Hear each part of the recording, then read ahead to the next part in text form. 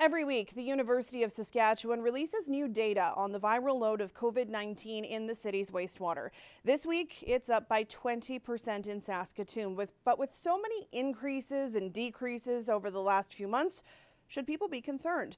For some context, we're joined by John Giesy. He's a toxicologist and professor at the University of Saskatchewan. Thank you for being here. It's my pleasure. Okay, let's just focus on Saskatoon just for time's sake. If I understand this correctly, while the viral load is up week over week, overall it's down. Can you help put the data in perspective?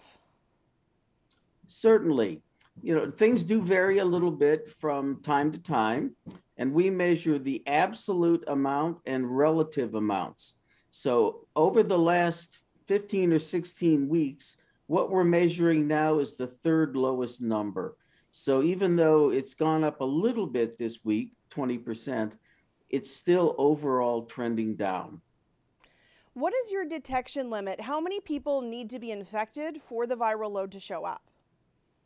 Good. That's a good question. Uh, our best estimate is about five people in the city of Saskatoon. That varies a little bit depending on how much virus they're shedding and where they are in the cycle. But on average, it's about five individuals. And then how do you compare that week to week in terms of increases and decreases? So each week we make three measurements, and then those measurements are averaged. And what we compare is that average of three values week over week. So, how has your data been reflected in hospitalization numbers? So right now, we don't have access to the most recent hospitalization data. But historically, when we have made that comparison, we get very, very good relationships. We can predict the hospitalizations by about seven days. And, and, we have very, very high confidence in that. Historically, we used to measure the new cases, but without monitoring now, we can't do that. Let's talk about trends. How can you use the information you have right now to predict what's going to happen in the next few weeks?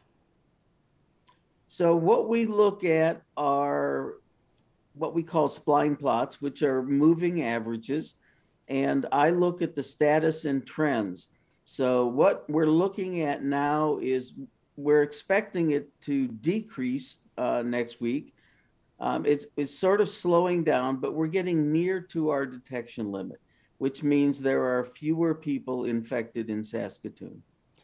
So, overall, what's your biggest takeaway as you've been studying this viral load for weeks and weeks and weeks through the pandemic?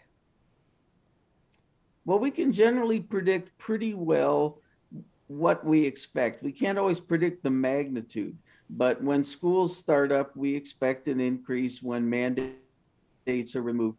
And, and that's f- pretty much been the case over time. We're expecting now that the trend should stay low. It's summertime. Traditionally, in the summer, things do decrease. And hopefully, we're nearing the end of the overall trend. When it started, I thought it would take about two years, and we're just beyond that now. So, hopefully, we've reached the end of this particular cycle. I hope so too. Thank you so much for your time and for your work.